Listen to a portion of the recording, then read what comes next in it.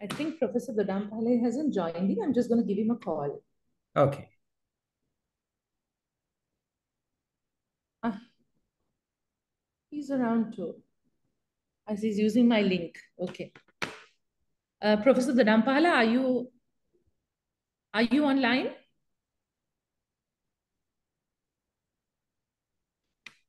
You need to unmute yourself, Professor. Yeah, yeah, All I'm right. done.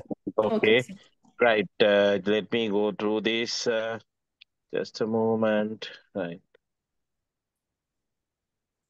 right, right. Can you hear me, Shamun? Shall we start? Yes, sir. Right. Okay, right. Uh, how much audience is there? 16 people are joining, right? Is Ruwan online? Ruwan join? Yes, he's Yes, here. yes. Yeah, right. Hi, Ruwan. Hello. Right. Uh, good evening, everyone. On behalf of the Sri Lanka College of Obstetricians and Gynecologists, uh, as a part of our CME program, Dr. Shamun Malin has organized this series of webinars. And uh, today we have a very important uh, topic and an important special guest uh, who has contributed a lot to Sri Lankan obstetric practice while he is placed in UK. He is uh, none other than one of our own, Dr. Ruwan Fernando. Uh, he's a consultant, obstetrician, gynecologist, and urogynecology subspecialist uh, from Imperial College, and he's an honorary senior lecturer, Imperial College London. And he has his research expertise on uh, urogynecological and perineal injury. And he had done a lot of publication and work and training all around the world. And we are fortunate to have him in on our pre-Congress workshop also. Uh, without talking much about Ruwan, let me introduce the person. Uh, let me introduce to Dr. Shamun Malin to introduce our speaker today, who is going to talk us about management of perineal injury following childbirth. One of the very important topics a trainee should know because this is an unaddressed past uh, part in the past, but um, leading to silent morbidity in many women. So uh, Ruwan has done a lot of research in this area with his uh, peers, and uh, so let's uh, see what he has to do about this perineal injury and how we should manage in ideal setting. So over to you, Shamoon. Thank you, sir. Uh, good evening, Professor Dodampahala. Uh, good evening, um, good afternoon, uh, Dr. Ruwan Fernando, and good, good evening to everyone who's logged in uh, today uh, to this uh, webinar. Uh, it is indeed my pleasure to introduce uh, Dr. Ruwan Fernando, who kindly agreed to deliver this webinar on the management of a perineal injury following childbirth. So Dr. Ruwan Fernando, he obtained his MBBS and his MS in obstetrics and gynecology from the University of Colombo and his MRCOG in 1997, and then went on to obtain his FRCOG in 2013. He was awarded a Doctor of Medicine degree from Keele University for his thesis titled Management of Obstetric Anal Sphincter Injuries in 2005. He has also won several prizes, including the Harold Malkin Prize for the Best Original Research Award by the RCOG in 2006. He has also published over 75 peer-reviewed papers and several book chapters. He's the principal author of the RCOG guidelines on management of third and fourth degree perineal tears. Dr. Ruwan Fernando is currently a consultant obstetrician and a urogynecology subspecialist at Imperial College Healthcare NHS Trust, St. Mary's Hospital, London, and the co-director of the urogynecology subspe subspecialty training program at St. Mary's Hospital, London. He's also an honorary senior lecturer and an undergraduate personal tutor at the Imperial College London. He was a member of the RCOG Guideline Committee, RCOG Scientific Advisory Committee, FIGO Pelvic Floor Dysfunction Group, and the International Continence Society Ethics Committee. He's currently a member of the Education Committee of the International Continence Society. Uh, I would now like to uh, hand over this uh, to Dr. Ruwan Fernando to proceed with delivering his uh, lecture, uh, which is much awaited. Thank you. Thank you, Shamun. Uh, thank you, Professor Dodampahala. Um, and it's a great pleasure to connect with the, the Sri Lankan obstetricians and the trainees, um, even though I'm here. Uh, so, uh, and good evening uh, for you all.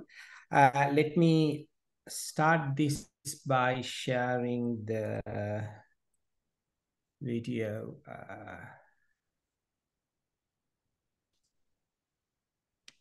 is that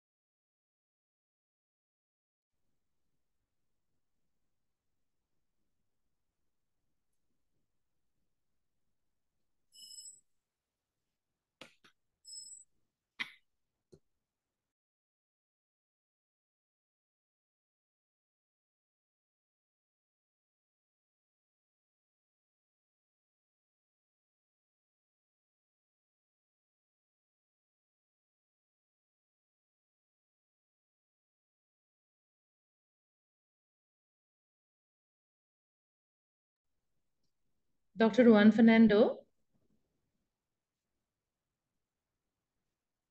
Madam, he, he lost his connectivity, so I think he had to rejoin. yeah, he is not joined, right?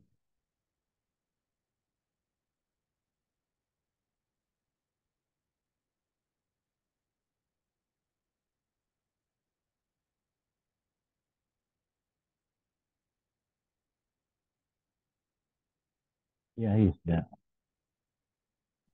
Okay, uh, can you hear me? Let me share my...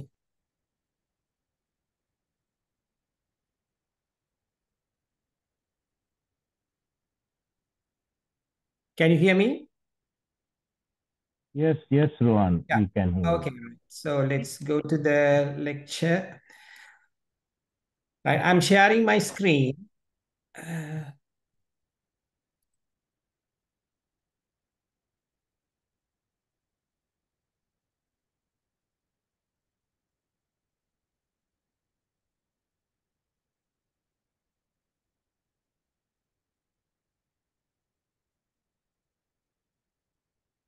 I can't see the controls of the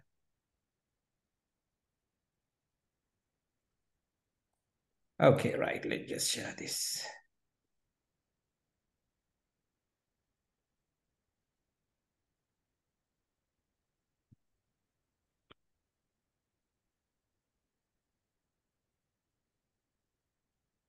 Right, I think we are nearly there.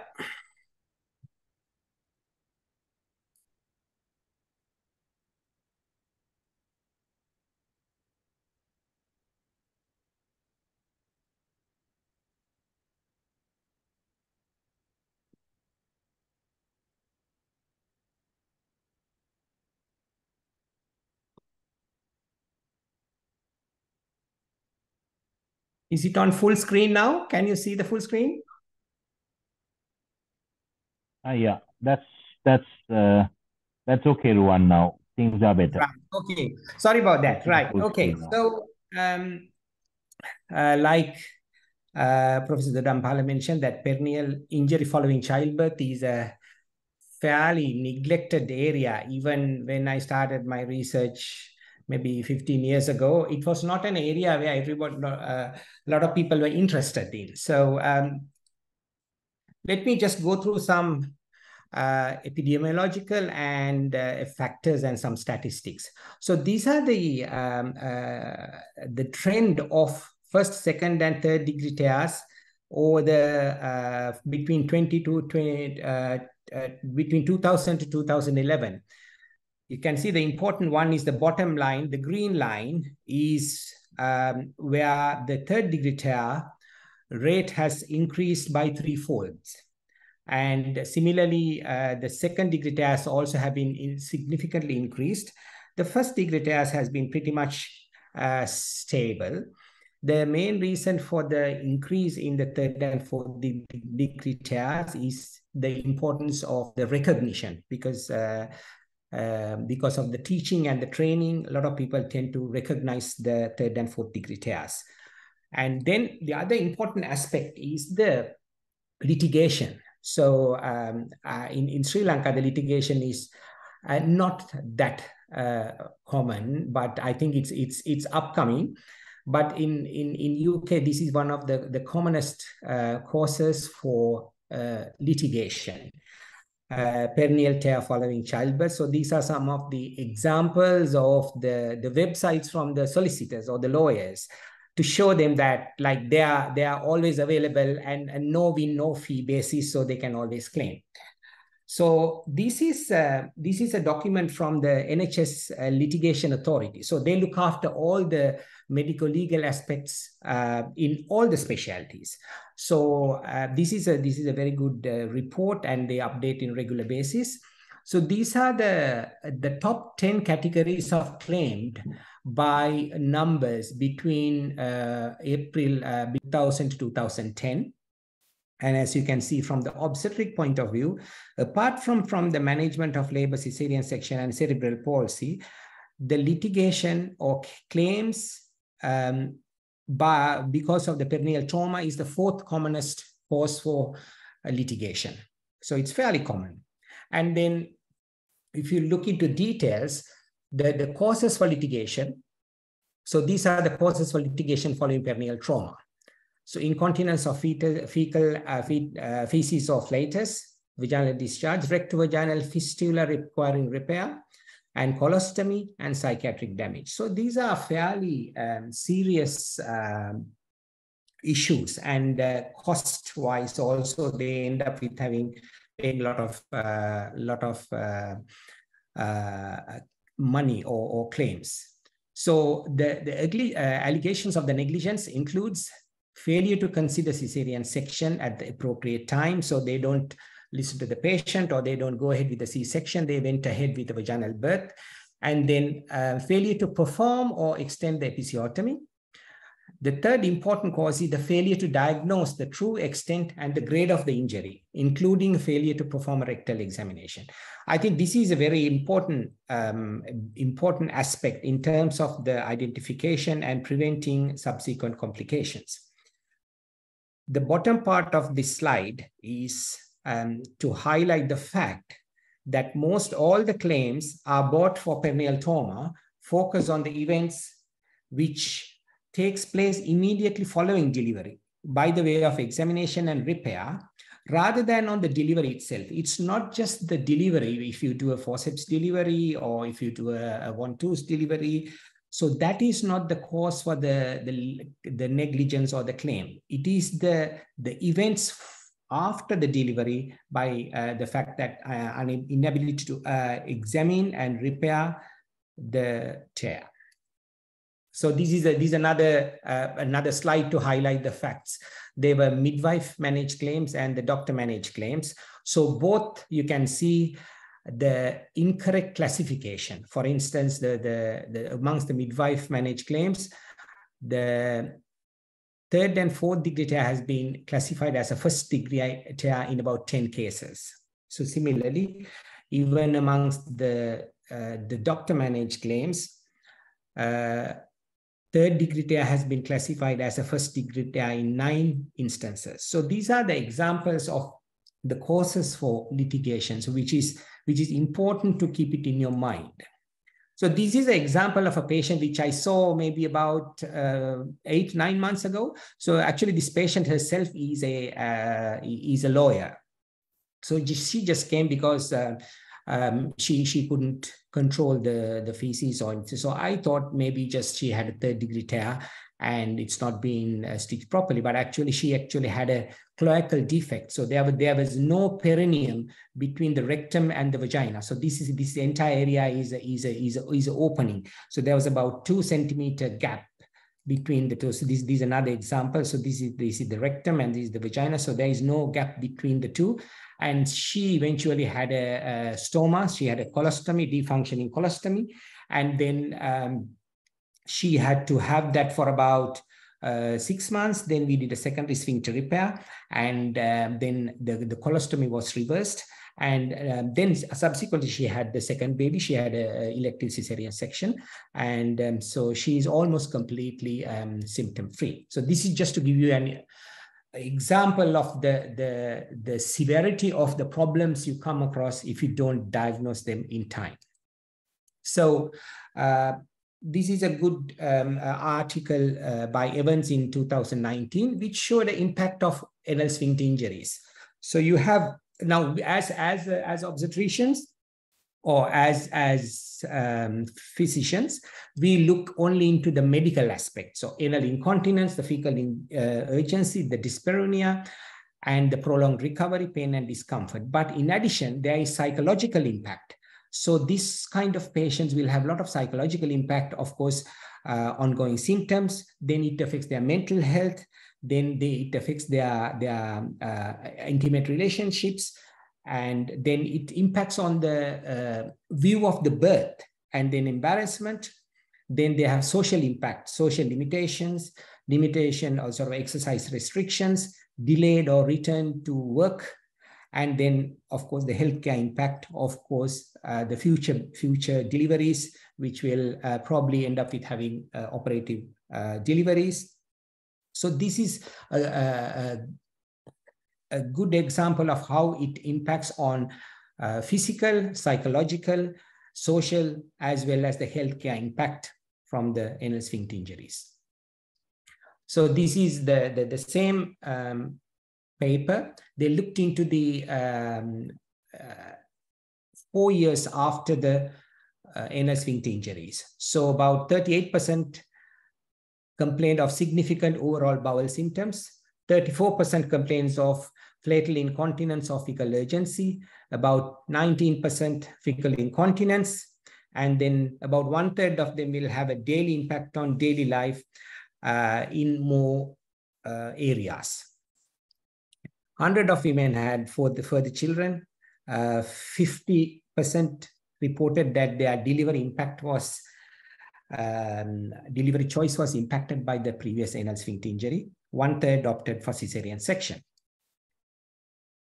So that's the background. So that's the importance of the perineal trauma, the importance of identifying it um, uh, accordingly and then repairing it accordingly to prevent further complications long term. So the classification of perineal tears, I'm sure you all have gone through this, and so we all know the, the, the, classification. So the first degree tear is the vaginal epithelium, and then second degree tear involves perineal muscles, and third degree tear involves anal sphincter. So this is subdivided into 3A, 3B, and 3C. So the 3A is less than 50% of the external sphincter thickness. 3B is more than 50% of the external anal sphincter thickness is damaged, and 3C includes internal sphincter. The fourth degree tear is the uh, involvement of the anal epithelium. So the basically the fourth degree tear involves the vagina up to the rectum, uh, uh, involving all layers. So uh, the third degree tears and the fourth degree tears collectively um, uh, called as obstetric anal sphincter injuries, or in, in short, OASIS. There's another uh, type of a tear which is not included in this group, which is the buttonhole tear.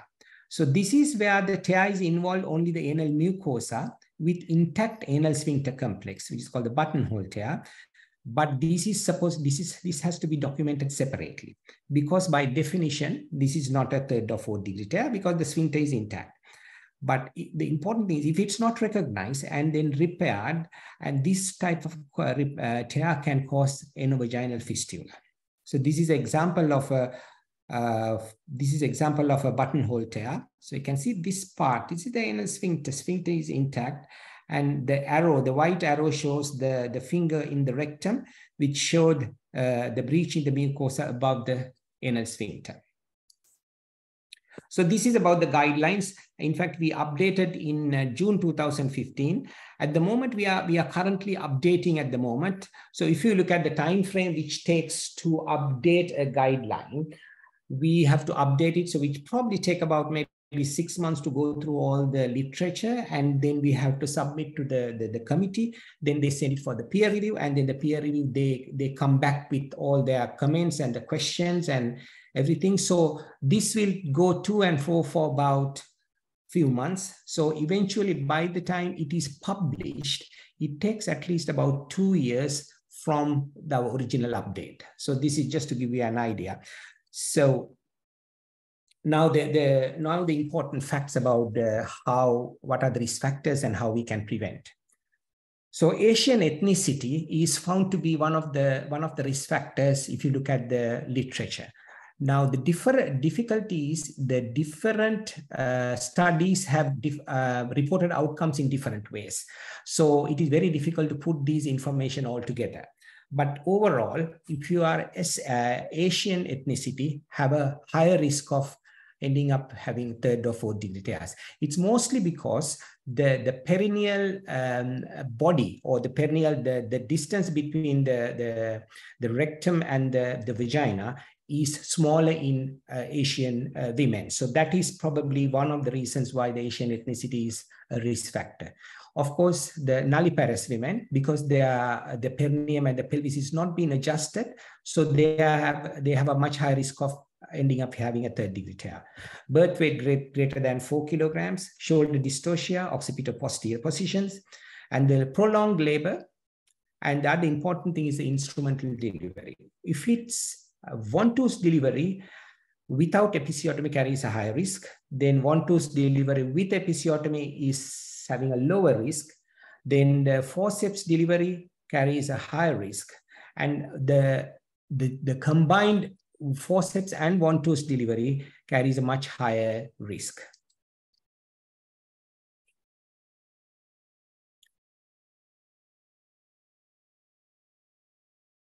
So then everybody asks, oh, can we predict anal sphincter injuries like giving you uh, like a scoring system or something?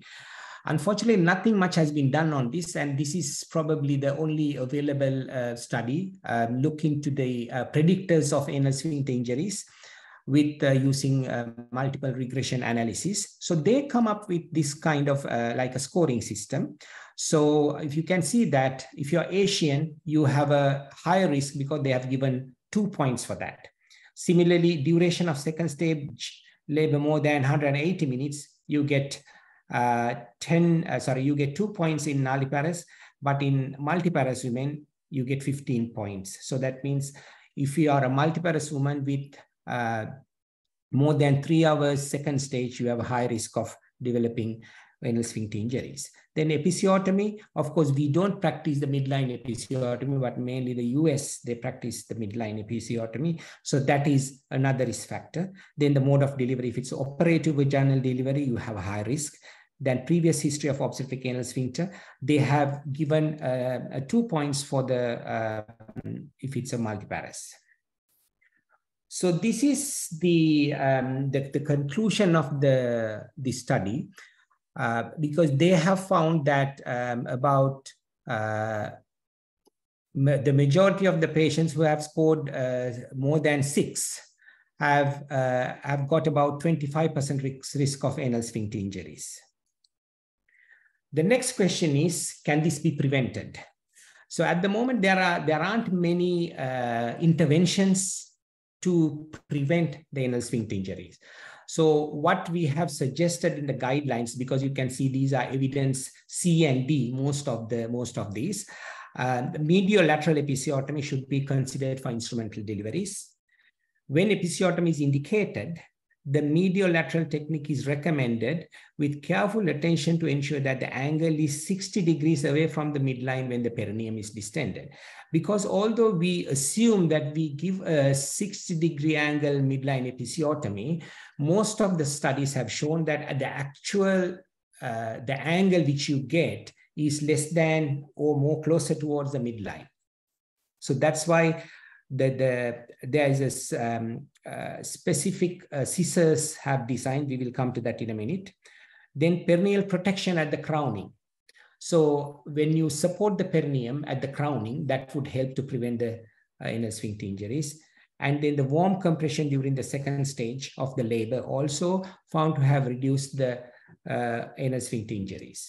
So this is the um, the scissors which I mentioned earlier. It's called EpiScissors 60. You can see this is the prototype where they, they this is the midline and this is where the, the scissors is angled in such a way. Once you put this the guide in the middle, it will give you the exactly 60%, uh, sorry, 60 degree angle of the episiotomy. So there are five studies um, looking into the uh, use of uh, uh, so the, the conclusions were that introduction of episcissors, when combined with other preventative measures, including manual perineal protection, can reduce the anal sphincter injuries by up to about 50%. And all the studies, the operator were able to consistently achieving the post-suturing episiotomy angle more than 60%. So it seems to be um, uh, a one way of avoiding too much of uh, episiotomy going too much into the midline and giving you the, the right um, angle for the episiotomy and avoiding or reducing the perineal trauma, uh, third and fourth degree tears. So this is the manual protection. So we all have seen this and we all have done this.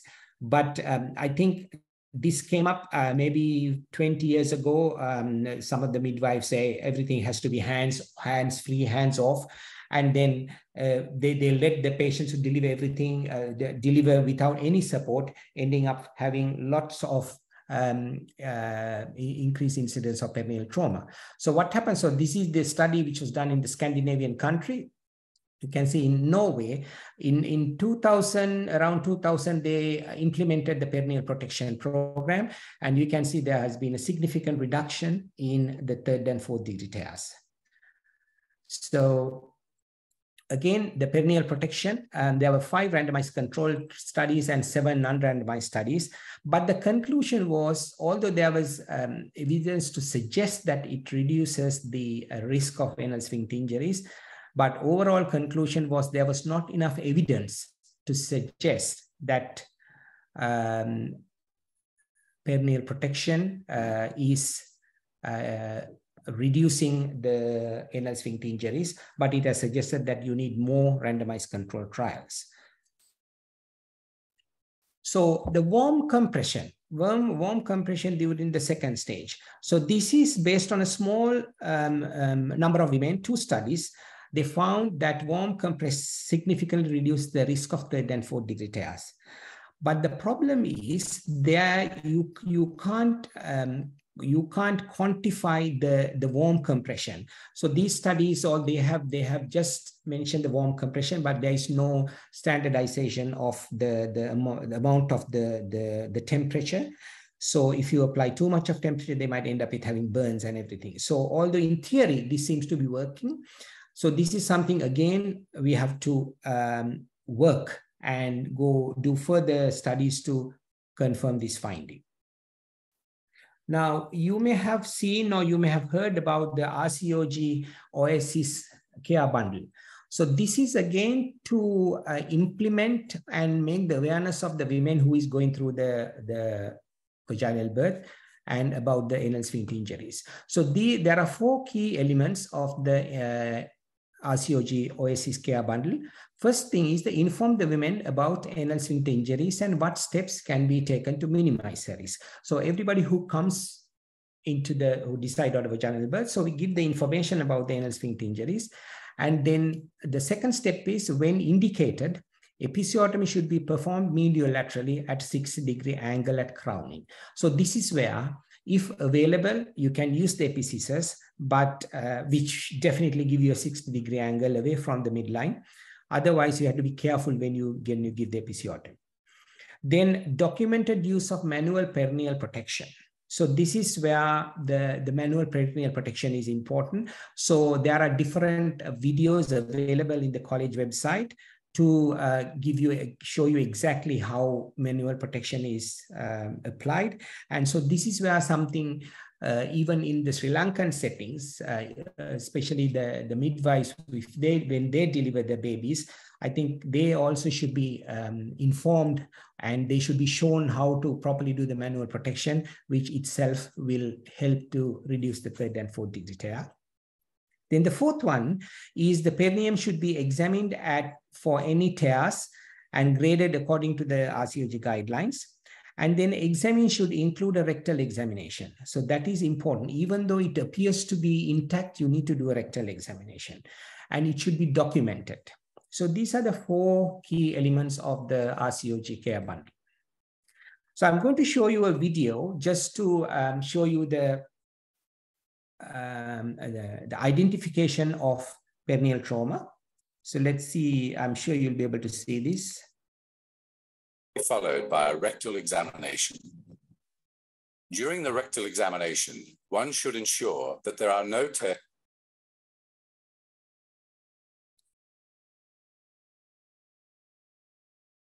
There are no tears involving the rectal mucosa that may be communicating with the vagina.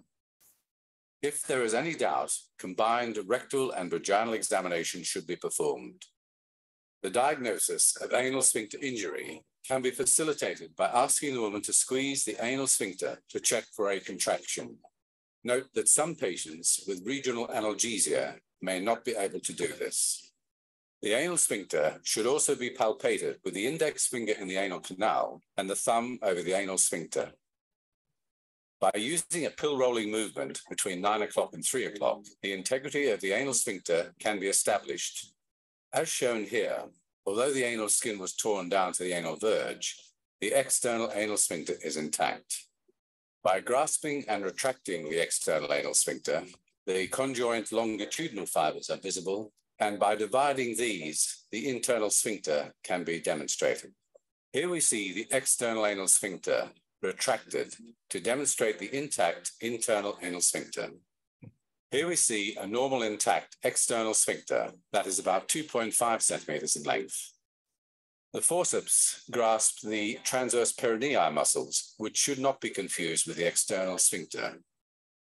The internal sphincter is demonstrated beneath the external sphincter.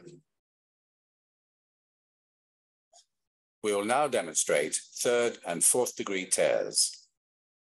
In the first example, the external sphincter has a superficial tear, and this will be classified as a grade 3A tear. The external anal sphincter is under tonic contraction, and therefore, if disrupted, will retract within its capsule and may therefore not be visible. Allis forceps should then be used to grasp the external sphincter. The external sphincter is surrounded by a capsule, lateral to which lies an important landmark the ischioanal fat. The ischioanal fat is again demonstrated at superficial level and now at a deeper level. We are now looking at a 3B tear and the pink internal sphincter can be seen through the partially torn external sphincter fibers. Here we see an example of a grade 3B tear in which the residual intact fibers of the external sphincter are demonstrated. In this grade 3B tear, almost all of the external anal sphincter has been disrupted and the internal sphincter is clearly visible. The color contrast between the external anal sphincter and the internal anal sphincter is highlighted in this example of a 3B tear. The deep red color of the completely torn external sphincter contrasts with the pink color of the internal sphincter and the paler anal epithelium. We are now viewing a fourth degree tear in which the torn pink internal sphincter is clearly visible. An example of an isolated buttonhole tear of the rectal mucosa is now being shown. This is not a fourth degree tear as the anal sphincters are intact. We now demonstrate how a third degree tear could be missed if a rectal examination is not performed. By inserting the finger into the rectum, the torn external sphincter becomes apparent, with only a thin, intact strip of external sphincter, proximal to which the external sphincter is completely torn. This is a 3B tear.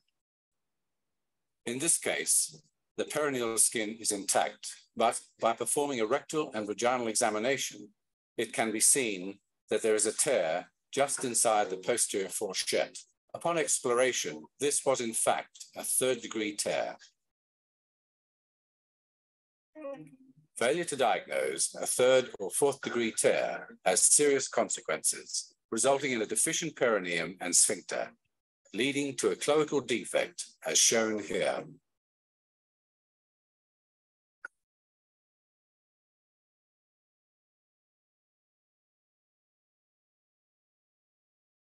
Followed by a rectal exam.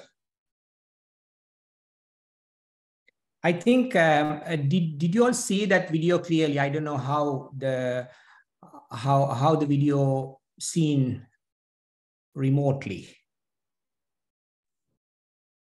It was clear, uh, Dr. Ruwan Fernando. Okay, that's good. Yeah, I mean that's Yeah, I summarized. think it That summarized the the classification as well as the cloacal defect and how to identify what the classification is. So. Uh, then we go into the repair of the anal sphincter injuries. So I'm just going to go through briefly the general principles. So it should be done by an appropriately trained clinician. Sometimes, I mean, in, in, in UK, uh, very experienced midwives sometimes will be able to repair that as far as they have undergone all the training and everything. But most of the time it's the it's the at the senior registrar level or if the um, um, junior registrars if they have been attending the courses and have been supervised. So it should be appropriately trained clinicians. And and it should be done in a theater under regional or general anesthesia with good lighting and with appropriate instruments. So we have a third degree tear repair pack, which includes all the retractors, the Allis forceps, and everything. So, um, and then um, obviously the rectal examination, which we have mentioned before, uh, should be um, performed after the repair. Uh, before the repair, first to identify the exact degree of the tear, and after the repair, uh, rectal examination should be performed to make sure that your sutures have not gone through the anorectal mucosa. If it happens, you just have to undo it and then repair it again. Then um, the repair tech, which technique should be um, used to repair the anal mucosa? So the torn anal uh, mucosa in fourth degree tears can be used with either continuous or interrupted techniques.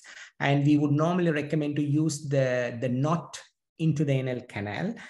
Uh, this is basically we've been based on this on colorectal surgeons' advice.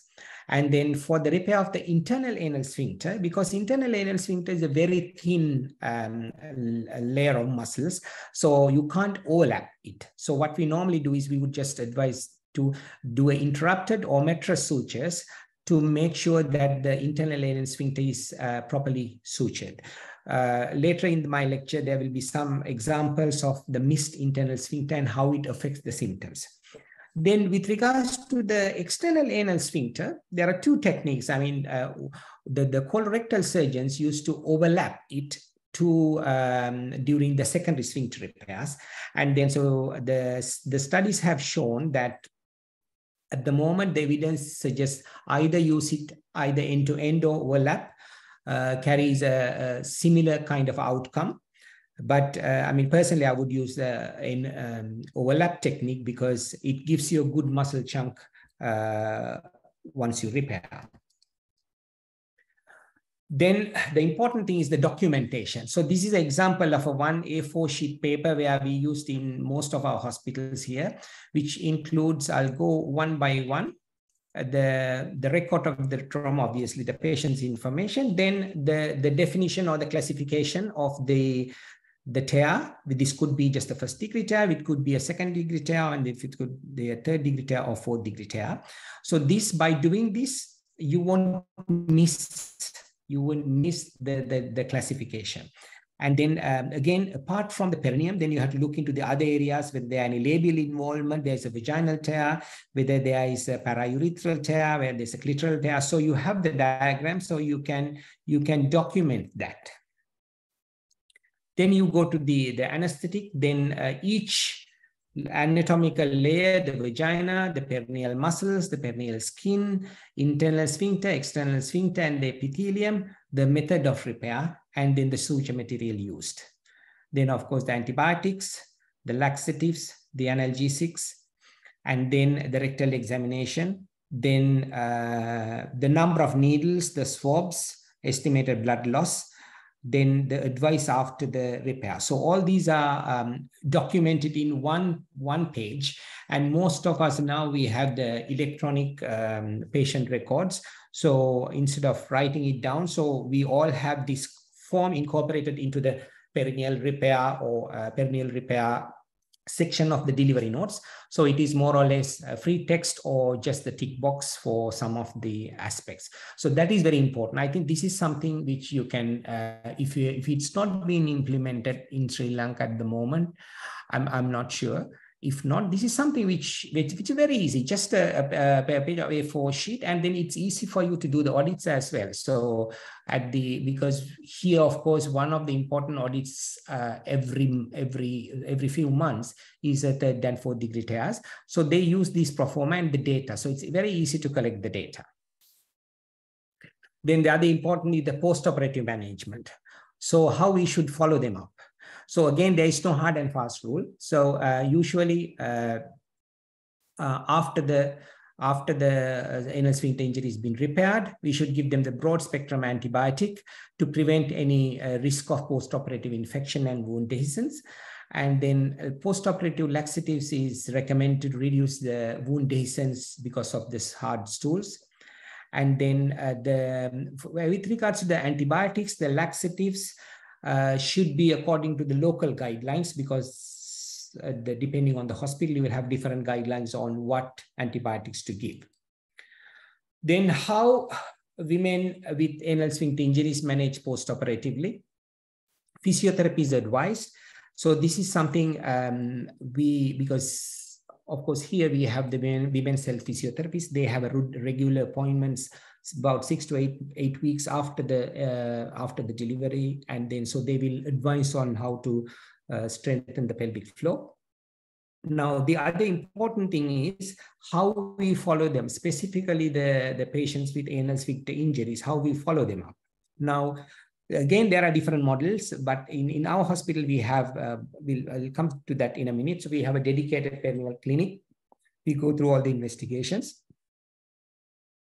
And so this is a, this is what we do in our, our pelvic floor clinic. So it's a dedicated one-stop clinic. We see the patients between 8 to 12 weeks after third and fourth degree tear. It's not only for women with third and fourth degree tear. It's uh, we see the patients with, with perineal wound dehiscence and any bowel uh, bowel problems after the delivery, any kind of immediate postpartum uh, problems. Then we use the symptoms assessed with validated questionnaires. We take a history and examination. Then we carry out endoanal ultrasound scan and anal manometry. Uh, the, the patients who had a previous third and fourth degree tears, we see them around the mid trimester. We discuss about the future deliveries. Then we have the colorectal surgeon available if uh, advice if available, if necessary. Uh, then we also follow up women with who had previous third degree tears. So this is, I'll give you some um, examples of the investigations we do. So we do the anal uh, anorectal manometry because this is, this is not a detailed anorectal manometry, which is normally done by the colorectal surgeons, but this is a very simple, straightforward manometry where we just assess the resting pressure and the squeeze pressure along the anal sphincter canal. So this is an example of this, this red line. So this is the example of the, the um, normal anal manometry. So this is the resting pressure. So you, you put a very fine uh, pressure transducer into the rectum and then at the, at the sphincter level, uh, so this is the resting pressure. So normally it should be around 35 to 40 millimeters of mercury. And this is the squeeze pressure. should be the double the resting pressure. So normally it's about 70, above 75 to 80 millimeters of mercury. And so this is an example of a normal endoanal ultrasound scan. So, so this thick white ring is the external sphincter. Then thin black ring is the internal sphincter. Then inside that is this is the anal mucosa and this is the probe. So that's a normal intact uh, anal sphincter complex. That's the external sphincter. That's the internal sphincter. So these are some examples of uh, uh, sphincter defects. So you can see compared to the previous one. So there is an external sphincter defect between these yellow arrows. So compared here. So here you can see it's, it's nice and, and very dense area. So this is the area where there is a defect. So similarly here. So these are the kind of defects which we see them in either partly uh, repaired or missed third or fourth degree tears.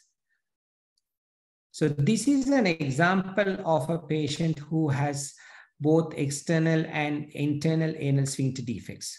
So this is the resting pressure is about 20 and the squeeze pressure is very, very little, very, very little. It's about maybe 30. So you can see that. So the patient's resting pressure as well as squeeze pressure is low.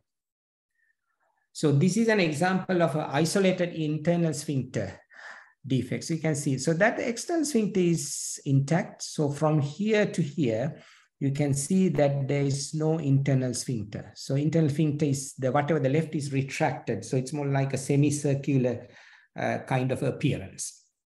So this kind of a patients, because the, the, the squeeze pressure is mainly by the external sphincter. So you can see their, their squeeze pressure is reasonably well, but their uh, resting pressure is very low. Resting pressure is mainly maintained by the internal sphincter. So resting pressure is low, about 20.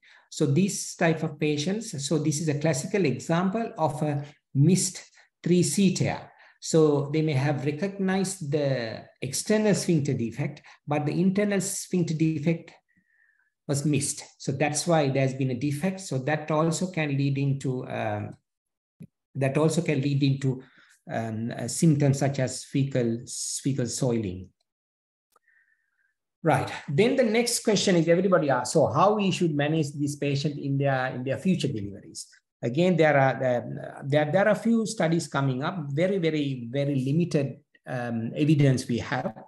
So we at the beginning we recommended that the, all the patients should be counseled, and then um, if they have um, if they have so they have, they have symptomatic. If they have any problem controlling the bowels like fecal urgency or fecal incontinence, or have abnormal endoanal ultrasound scan findings or abnormal manometry. That means if there are any anal sphincter defects or if the pressures are low, then we should be counseling them for cesarean delivery.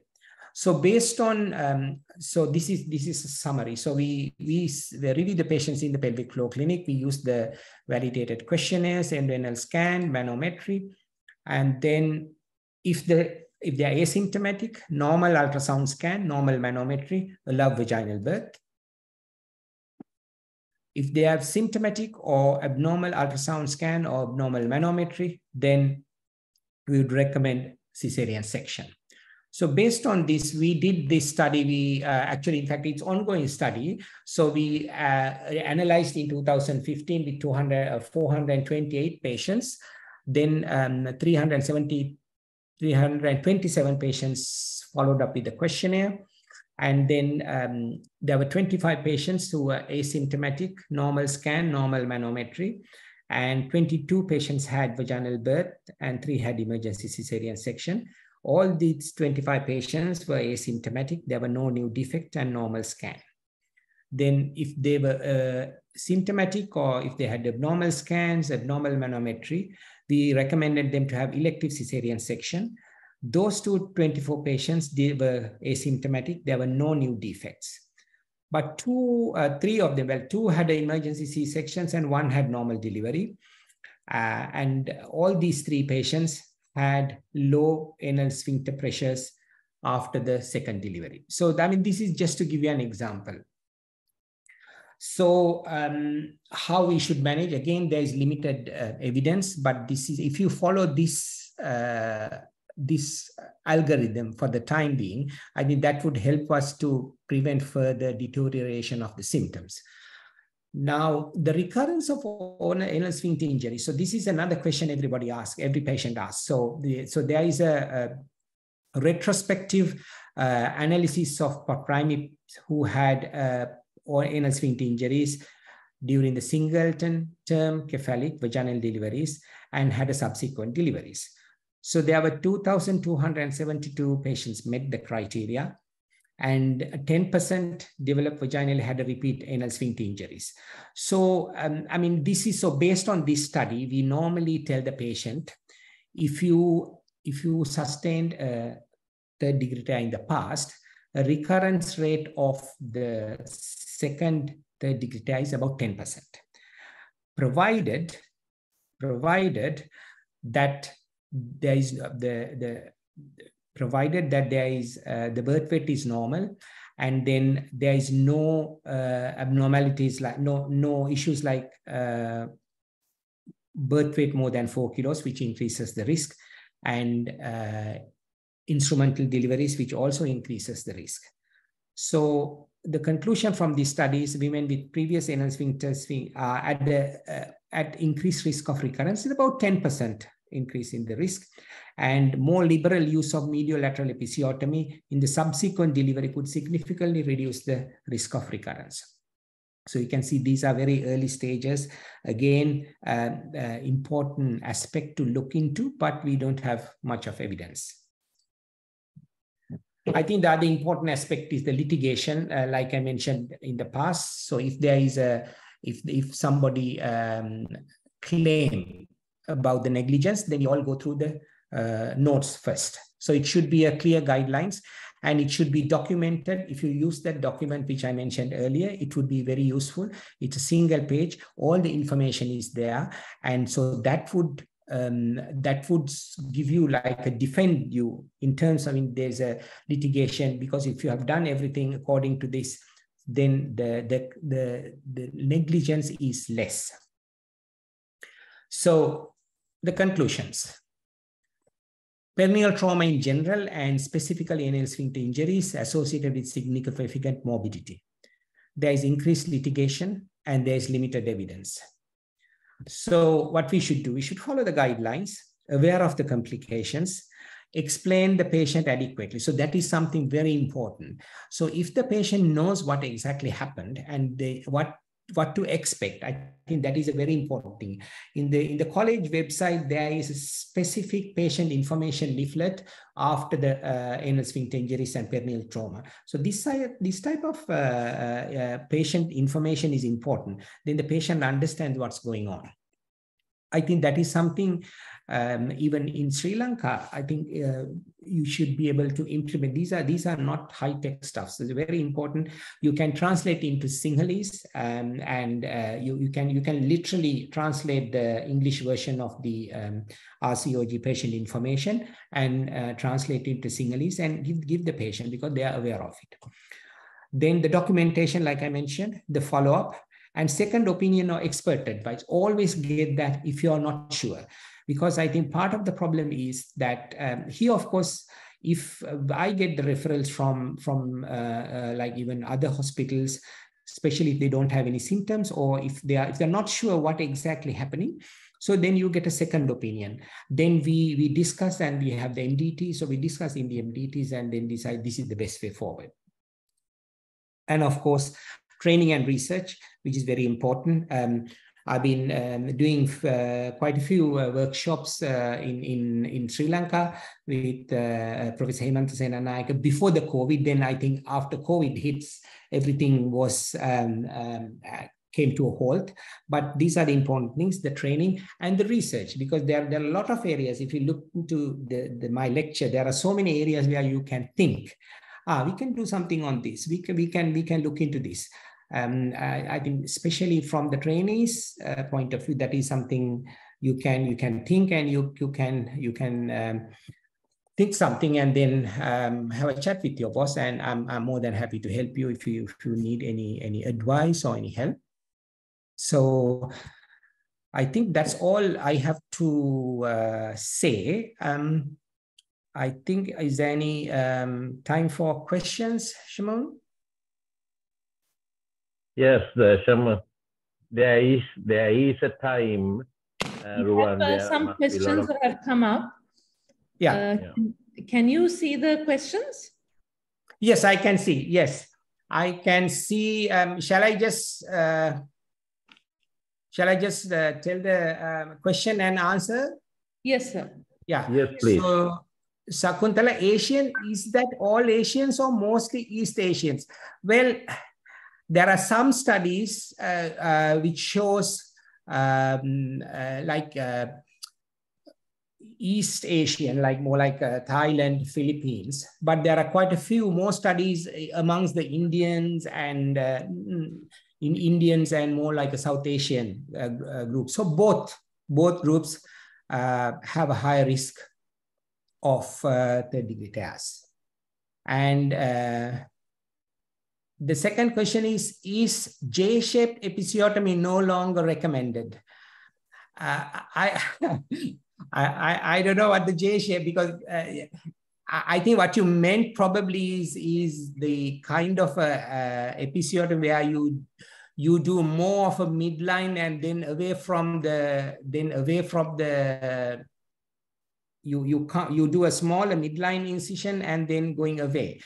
Is is that what you mean? So if that's the case, so again, if you, because even if you make a small incision in the midline, it can extend into the sphincter. So that's why we specifically request from the, from the point where the scissors is inserted, you give a 60 degree.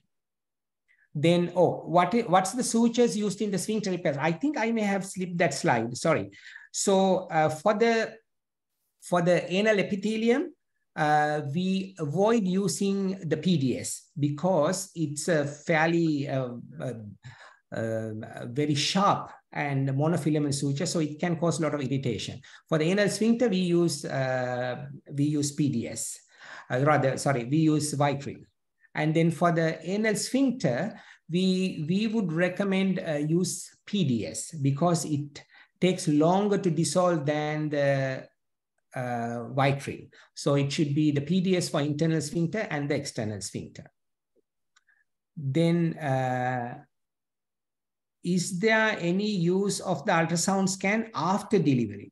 Now there are there are few uh, studies to uh, which we, which which have done uh, to do the ultrasound scan um, after the delivery, but I think um, it is if you're if you're not sure, yes, you can do internal ultrasound scan, but the practicality it's not freely available. So that that that is the important thing because unless you are using it as a, at a at a research setting, uh, most of the hospitals they don't have the endoluminal ultrasound scan unless um, you have a dedicated clinic like clinic like us. Then uh, uh, the other one is how to repair the buttonhole tears.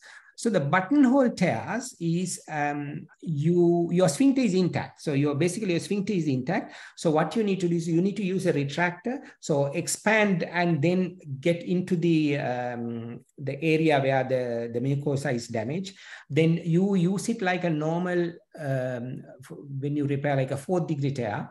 So you can use the um, the sutures and preferably put the knot inside and then use either continuous or uh, uh, interrupted sutures. Sometimes if it is very difficult, um, I mean, for, for some, some places, if they don't have enough expertise, they call the colorectal surgeon. And the, the problem is the moment you call the colorectal surgeon, they want to uh, do a stoma. But uh, the smaller buttonhole repairs, you can easily, easily suture. Um, so only important thing is the expose. You need to expose it properly. And then um, update about the suture material used for the external anal sphincter repair. So I, I briefly mentioned that. It's the, uh, the we would recommend uh, 2OPDS for that. Uh, yes, so what the exact size? Yeah, that's a 2OPDS. Uh, the repair of the buttonhole injury, which I think I have expand. if a primary repair failure of episiotomy repair, what are the options? Is a second intention to heal recommended? Yes. So that's a very good question because if it depends on how big it is. So if the, I mean, we all have seen the episiotomy is being broken down. So the important thing is, if it's a smaller one, yes, you can, uh, that if the depth is small, you can leave it uh, for the secondary intention healing provided you give some antibiotics, make sure that it's healed, but you need to you need to follow them up uh, fairly regularly, maybe every two weeks or so. Make sure that it's healing properly. But if it's if it's a deep one, then um, you need to do uh, the, the pretty much uh, secondary repair. But you have to make sure there is no infection. So you need to make sure you need to you need to have a look until the the wound is nice and you know uh, with well granulated um, area without any slough then that's the time to repair the uh, infected episiotomy wound uh, because otherwise it will break down again. Is there any benefits of sitz bath in, or uh, must be, it must be salt bath, isn't it? So salt bath, uh, salt bath in post-operative management. Well, this is something where with the salt but one thing is you can't quantify. So, um, and the other thing is um, sometimes it could be very painful. So um, it's not generally being recommended. There possibility of internal sphincter damage without external sphincter damage? Uh, it, it is almost impossible because if you look at the anatomy, to damage the internal sphincter, external things it has to go through the external sphincter first. So if somebody claims that uh, if you do a scan, like the one I like mentioned, the internal sphincter only damage, no, it is the missed uh, internal sphincter. So it has to go through the external sphincter first before goes into the internal sphincter. I think a lot of people have uh, asked about the, the question of the repair of the buttonhole tear. I think I, I um, if you need further clarification, please let me know. Unfortunately, I don't have a I don't have a video of that because it's it's so so um, so rare. But the principle is like I explained.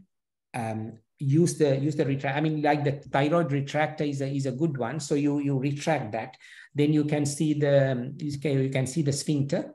You can see the intact sphincter then you just expose that. Then you can see that you put your finger underneath from the rectum. Then you can see the gap. And then maybe you can use some um, Allis forceps to hold on to the, the, the two ends of the torn mucosa.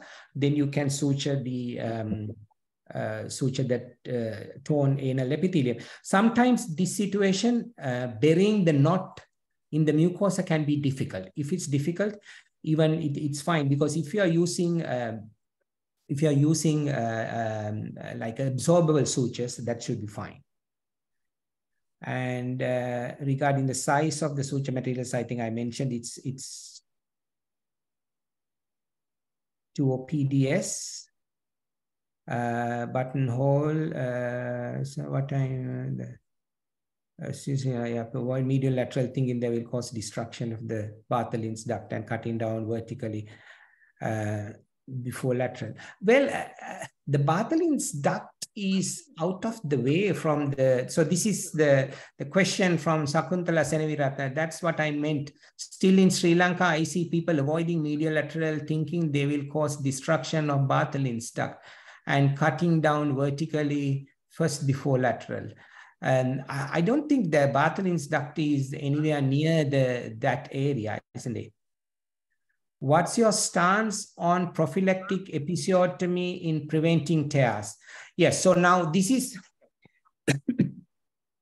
so the, the, the, if you're obviously, if you're, if you're using instrumental deliveries, then the studies have shown that uh, episiotomy uh, during the instrumental deliveries reduces the risk.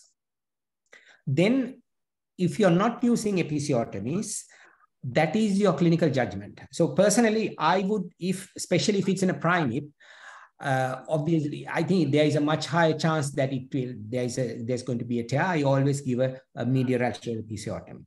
But if it's a multi, like two or three deliveries before, and then um, when when you when you when you do the delivery, if there is a less risk of uh, developing a tear, then um, you can avoid giving episiotomy. Then the needle size, I think it just comes with the, the standard, if you, if you come with the standard um, uh, 2 PDS, that's the standard size. Actually, um, more finer needles are, I mean, here, of course, it's available in the finer needles, but I'm not sure whether uh, the this size of, uh, I'm sure 2 uh, 2 PDS is available in Sri Lanka. And so what is the issue with absorbable suture in the anal canal?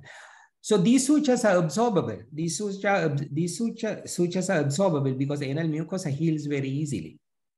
So it is just to, so I, I can't understand that question. Uh, sir, I think that question is about uh, you asked uh, to make sure that there are no sutures that have gone inadvertently into the anal mucosa while doing a, a repair of a third degree tear. Yes, so that is that is true. That is in a situation where it's not a fourth degree tear. So that is not a, that, like because in a fourth degree tear, you have to do is use the sutures to close the anal epithelium. But if it's a if it's a third degree tear, sometimes if it if you, when you when you suture uh, at the end of the end of the suture, you do a do a rectal examination. And then if you find a, a suture inadvertently gone through the rectal mucosa, you just have to uh, open up again and make sure that the suture has not gone through the rectum. Yeah. And then the, regarding the episiotomy second degree tears, not the third and fourth, when patient had a primary repair and coming with perineal infection later, would you recommend early? I think we discussed that earlier. Uh, recommended early secondary repair with antibiotics or manage antibiotics only likely. It depends on the how how deep the suture is. is it the midwife's job to teach perineal massage from 30 weeks?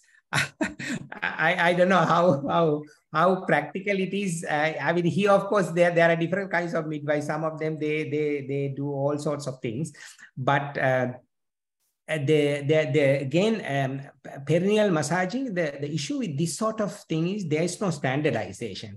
So sometimes the the physiotherapists tell them to massage the perineum then it's going to be where you should massage and then how long you should massage. So um, uh, and there are some studies there are one or two studies to show that perineal massaging helps in preventing third and fourth degree tears. But it is just uh, the the standardization is not what's not been done uh, then if awaiting surgical correction for sphincter defect from previous delivery, awaiting delivery in the next pregnancy. Ah, that's a good question because um, this question is if awaiting surgical correction for sphincter defect from previous delivery, can awaiting delivery in her next pregnancy can have vaginal delivery and correct the defect. So I think what you're asking is if there is a if there's a defect, and then whether the patient has to wait until it's been repaired well it depends on the symptoms. So what we see is sometimes we see very small defects which the patient doesn't have any symptoms. So from the repair point of view there is because the uh, the, um, the the success of a secondary repair is very very small. So most of the time it's only about 30% based on the colorectal studies but our experience is because obstetricians, we do the um, identify these um, uh, defects in early stage. So our rate success rate is quite good. We, I, I've done maybe about maybe 10 secondary repairs over the last maybe eight, 10 years. So I still follow them up and they are reasonably, reasonably doing reasonably well. But if for, for any reason, if you are doing, if you have already done a secondary repair, then it has to be a C-section. Then again, even if there is a defect, if you look at the, the algorithm for the subsequent deliveries, if they are symptomatic or if they have a defect, we wouldn't recommend another vaginal birth. Because occult symptoms sometimes although they are, they are not symptomatic although they have a defect but if you go through another vaginal birth then they can be symptomatic again. Right. So the the next one is what are the indications for colostomy following perineal tears if you ask this from a colorectal surgeon, they will say each fourth degree tear, you should do a colostomy. but I think um, it is mainly um, from from from the obstetrician point of view. If we, I mean, we all are very experienced in repairing fourth degree tears. So if you identify you do a fourth degree tear, then you don't need a colostomy. But the colostomy is indicated only in, a, in the case, like I mentioned, I showed you the pictures where there's a cloacal defect. And then if you're doing a secondary sphincter repair, because the secondary sphincter repair then you need to defunction. You need to defunction that. So because your second repair uh, will then if you the bowels open after that it can get infected and it's going to be um, uh, it won't break down. So that's the time uh, we would normally recommend the col uh, colostomy or the stoma are there any online training courses available uh, that of course i think this sort of thing um, it's a bit difficult to say. Um, I mean, online courses, this kind of uh, like a perineal repair is a, is a hands-on thing. So it's um, it's very difficult. So maybe in the future uh, we we could arrange something um, similar to what we have done before. Um, yeah. So I think this this time is a bit too tight in terms of the timing, but but I'm more than happy we will will um, I'll have I'll discuss with Shamoon and then maybe whenever I come to Sri Lanka we can arrange some some workshops. Uh, in Sri Lanka, ministry supply either two or with 20 millimeters in the is it uh, two or is it Vicryl or Aranda Fernando? I can't understand the question, I'm afraid. And the other thing is, all i mean let's be realistic because we can always say what we practice here uh, are, are, something which we suggest but uh, th these are not always available in in all over the world.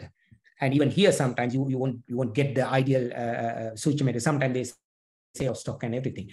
So i think the important thing with regards to the suture materials I don't think uh, we use catgut anymore in Sri Lanka, isn't it? It, it will be easy. It, it's so that is that is the that is the important thing. Most of the uh, either it's it's it's polydioxanone or or uh, polygla, poly, polyglactin polyglactin sutures. It's the the Vicryl.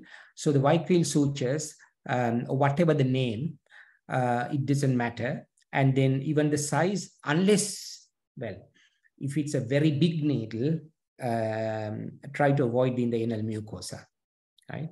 So even if you don't have the PDS, uh, because actually if you look at the randomized studies, there's not much of a difference between using a PDS and the uh, uh, for the anal sphincter. So you don't you don't have to have PDS for the anal sphincter. You can use the Vicryl to suture the sphincter. But the important thing is identify the entire length of the anal sphincter. That's the important thing. Yeah. Uh, what are the indications for endoanal ultrasound or manometry in asymptomatic patients? Which is preferred? Well, the now here of course it depends on the facility because we we, we have we have set this up the, this clinic with the endoanal scan and the manometry so we use for all the patients if you have limited facilities use it on the patients who are symptomatic use it on the patients who are symptomatic then um, um, i don't know how freely available because most of the time even here some hospitals you have to uh, share these or you have to get the colorectal surgeons uh, or the radiologists to do the endoanal scans and the manometry. So that depends on how what the facilities are available. But if they are symptomatic and i think that is a that's a good indication. So uh, that's the question can we use Prolene as a suture material? So um, again, the Prolene also monofilament. Prolene also mono, monofilament, something similar to the PDS. Uh, so I think um, uh, if you're if you're if you're asking about using the Prolene for the um, external and internal sphincter, yes, but you need to use it a very fine one. You need to use very fine one. And then could you please show us a video clip of the repair? Um, right, I think, uh, I don't think the time is permitted, but maybe, okay. What are the appropriate suture materials for episiotomy re-repairing? Is it absorbable or non-absorbable? We always use the absorbable, uh, not the Vicryl Rapid because Vicryl Rapid is normally dissolved within about seven to 10 days. So uh, if you are using a re-repair of the resuturing of the episiotomy, use the, the, the standard Vicryl, which, which will stay longer, maybe 28 days or longer.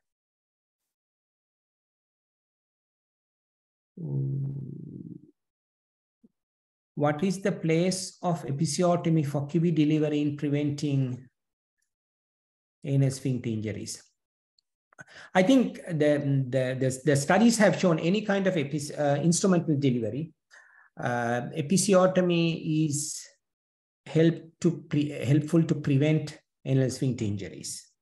Yeah, but again, if it's if it's a if it's a multi and then so the, this is why you can't generalize. You you have to be um, in that particular moment, depending on the circumstances, depending on the the the head, the, if the baby is very big or if the baby's been pushing and everything.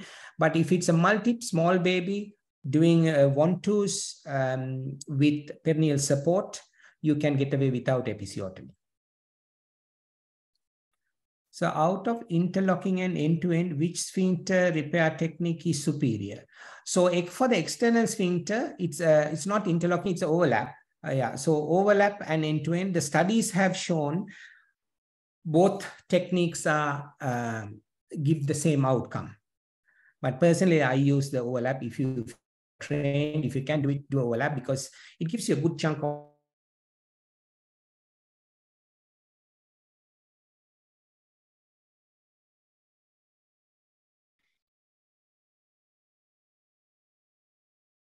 if possible, um, it, I think from for us, we, we, we repair it from the vaginal side. We repair it from the vaginal side because uh, if it's a colorectal, um, yeah, so we repair it from the vaginal side. So do we have figures for ultrasonic detector rate sphincter injuries among asymptomatic? Yes, so the, do we have figures for ultrasonically detected rates of sphincter injuries among asymptomatic women? Yes. So this was the this was the seminal paper by my boss, uh, former boss, Mr. Abdul Sultan, many years ago. So he did the he did scans on uh, uh, asymptomatic women after the the the after after vaginal birth. They found thirty percent they found 30% sphincter defects. But now we think that the most of them are missed tears rather than actual tears which were which were sutured. So if if you if there um, if so there there can be uh, so if you do the so even in the clinic we see the patients are completely asymptomatic there are there are some patients with the smaller defects if there are smaller defects we don't need to do anything because if there are big defects with this because one thing is smaller defects is very difficult to repair. Sometimes trying to repair uh, repair make it worse. What is the incidence of fistula following fourth degree tear? I would say very rare unless you miss it unless you miss it. So if you if you detect it and if you repair it there the the the, the rate is less than less than 1% i would say if you re repair it properly yeah but then the fistula following fistula following fourth degree tear is is common. I mean overall the fistula rate is very very very small here. But i'm i'm sure because uh, it, i think even in the Sri, even in sri lanka i think um, I, I don't know whether this is practical or whether it is already practicing the midwives are they are they allowed to do a, a rectal examination when they do uh, so because i think in sri lanka most of the or, or, almost all the episiotomies are sutured by the doctors i suppose isn't it? Yes. Yeah. So i think so. Then uh, the responsibility is yours because they the midwives will deliver and then if you if you're the, the only other thing is if there is no tears then the, I don't know whether this is practical, whether the midwives can do a rectal examination to exclude a tear. Because they, those patients doctors won't see, isn't it? The, the midwife will deliver and then there are no tears, they will go home. Is that correct?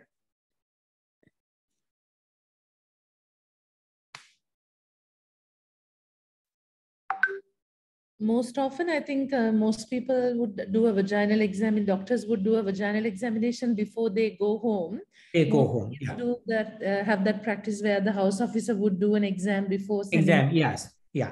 Say, same as when we were house officers so nothing has changed isn't it? So i think the important thing is um, uh, i don't know this is this is something um, actually even when we when we suggested that even patients after the after the first or second degree tears when we suggested through the through the college that you should do a rectal examination, there has been a lot of opposition from the from the midwives and you know uh, patient groups to say why do you want to do a rectal examination with a patient who doesn't have? But now everybody accepts that it is a must.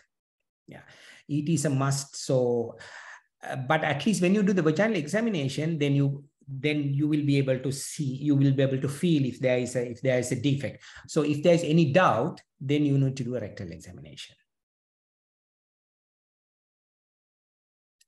Uh, then would you advise cesarean section for all after anterior and posterior colporrhaphy good question. Yes.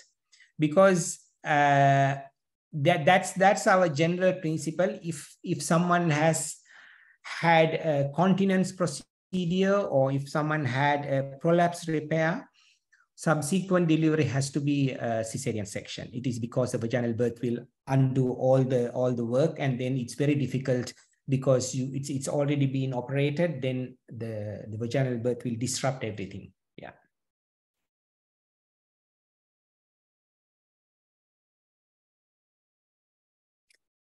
So um, in buttonhole injury, only rectal mucosa affected.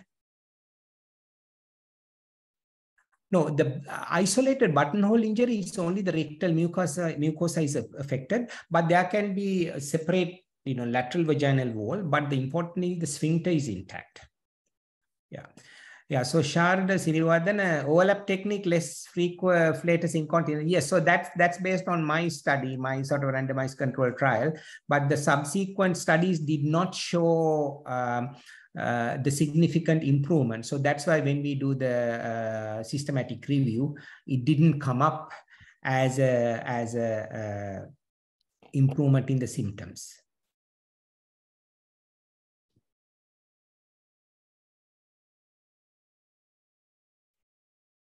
Based on 30% figure, uh, what 30% of figure? Is it still reasonable to counsel at the rate of 2 to 5% and decline request for cesarean section? I can't understand that question. But overall, generally, if you look at the litigation point of view, there has been hardly any cases where there's been a litigation because you did a cesarean section unnecessarily right so very very well almost unheard of unless you end up with having a you know massive complication but uh, most of the time the litigation is not doing a cesarean section in time so that's where the difficulty is. Sometimes we, we get the patient absolutely fine. So no symptoms, scan is normal, pressures are normal, and then, so we explain to them, so this one, so you, you can have a vaginal birth. And then, uh, then they will, uh, they, they say, uh, no, I would like to have a C-section. And then, um, uh, I mean, now, now, I mean, with, with this, uh, the, the, the recent uh, Montgomery uh, sort of uh, you know the the the, the decision, uh, the, the the patients have the choice. So if they ask for a C-section, then of course you need to explain to them the risks, the risk of PPH, risk of uh, organ damage and all the rest of it. But um, yeah, so you have to, as far as you uh, explain to them and document, then they can have a C-section. And sometimes I, I, I think it's, it's reasonable because sometimes it's just not the tear is fine, but it's just the but it's just the, the trauma of having the episiotomy, sorry, having the, the, the sutures, having the pain and um, everything. Okay.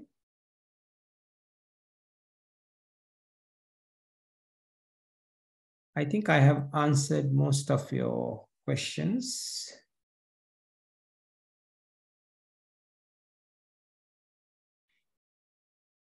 Yes, I think uh, buttonhole, yeah, I think we've answered. All Sorry. right. Yeah, go ahead. I think we've uh, managed to complete all the 41 questions. Yeah. Am I missing? Uh, from, yeah, same thing. Right. Uh, uh, Professor Dodampahala, are you around? I think uh, uh, now that we've taken all the questions, uh, maybe uh, we, we can sort of conclude today's session. So um, thank you very much, uh, Dr. Ruwan Fernando, um, for your very, very interesting and informative talk today. And uh, it is my pleasure on behalf of the Sri Lankan College of Obstetricians and Gynecologists um, um, uh, to thank you uh, for accepting our invite and for dedicating your valuable time in delivering today's talk. So we had about uh, 95 uh, attendees today listening in, um, and I'm confident that uh, your uh, talk uh, helped to improve the knowledge as well as uh, the understanding of um, perineal injury following childbirth. We actually took quite a lot of questions. We had about 42 questions, which Dr. Ruwan Fernando answered. And uh, if any one of you have any more questions, uh, he will be coming for our college sessions. Uh, he's doing a um, pre-congress workshop on urodynamics and also on uh, uh, following the inauguration on the second day of the sessions, he's also uh, running a symposium related to urogyny. So if you have any more questions, you can keep it for him. when he comes, you can catch him and get him to answer it for you. And uh, thank you once again, Dr. Ruwan Fernando, for your time. You. And thank you to all the participants for making it a success. Yeah, thank you, Shamun. Thank you. Thank you. Okay, bye. Bye, bye. Thank you.